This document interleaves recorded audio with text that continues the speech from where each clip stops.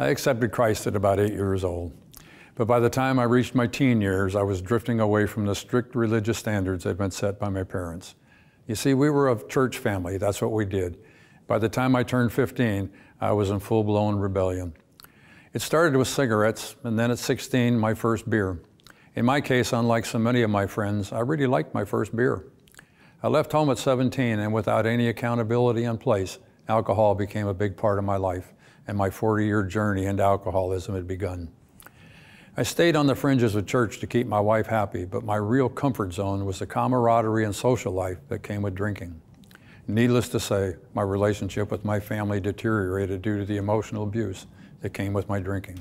To my friends, I was a fun loving drunk. To my wife, I was abusive and threatening. After 15 years of this, she finally filed for divorce. She remarried and moved to Washington State. Any resemblance of stability was gone, and I began to unravel. My relationship with my sons was, for the most part, non existent, and I would be, it would take four, 25 years for that to change. But in the fog of my addiction, I was okay. In 1998, a second marriage, and eight years later, an alcohol related divorce. Drinking had become a controlling factor in my life, but in my mind, it wasn't really a problem. It wasn't really hurting anyone. I wasn't an alcoholic, never drank at work. I could quit if I wanted to. I just chose not to. And besides, I really liked the taste of beer. In 1990, a third marriage. We had met during an on duty bar check, and that night after work, I went back. A year later, we were married. But this relationship began to suffer from the ever present alcohol in my relationship. I was starting to have feelings of guilt about wreckage I was leaving in my wake and sank into an alcohol induced depression. The jokes about Ted and his beer were funny at first. The lines like, he'd walk a mile for a Budweiser, were probably more fact than fiction, but they weren't funny anymore. In 1997, the depression led to a failed suicide attempt. I'd finally hit my bottom. I was kind of like the prodigal son, only my pig pen was a beer bar.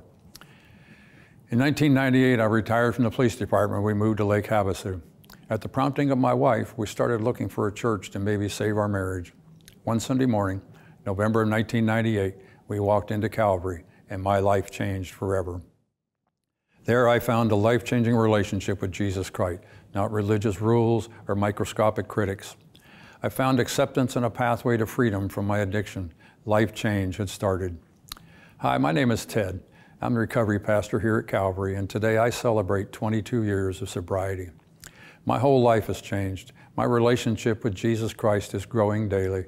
My marriage is healthy and Christ centered. I have a growing relationship with my two sons, my adopted daughter, and a stepdaughter. I have all those things that I had lost. A lot of those things have changed as other things have changed as well. In 2005, I had the privilege of being the startup leader for Celebrate Recovery. It was there in this Christ centered 12 steps and eight biblical principles of recovery that I found a true place to, path to freedom.